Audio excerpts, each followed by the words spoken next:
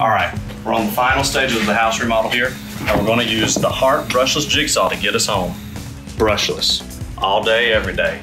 More power, longer runtime, every drill, cut, and screw goes faster. That means you get done faster.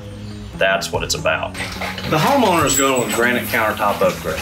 So, we've built this plywood subtop to help support that extra and added weight on the cabinets. We're here cutting out the hole for the sink. Now, I'm going to do the rounded corner cuts with the jigsaw. This is a rough cut, so let's dial up the speed and get it done.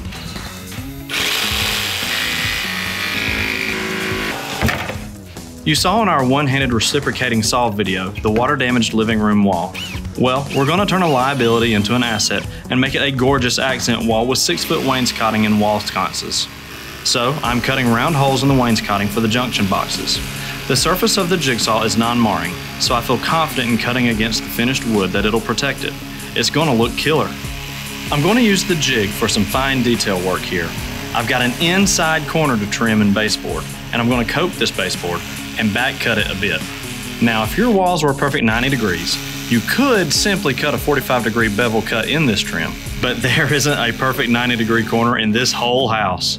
So I'm going to make life easier for myself when it's time to install by coping this.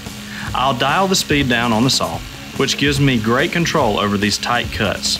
That'll allow the trim to stay completely flush in the joint, even if the wall happens to be more or less of a right angle.